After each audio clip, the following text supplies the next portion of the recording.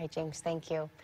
Answering the call to help the helpers today, a local charity that houses foster kids and families at risk of abuse.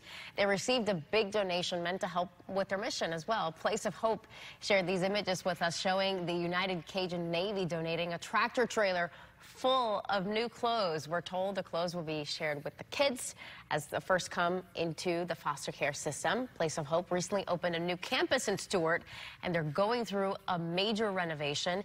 If you'd like to help them out, you can head to their website, placeofhope.com.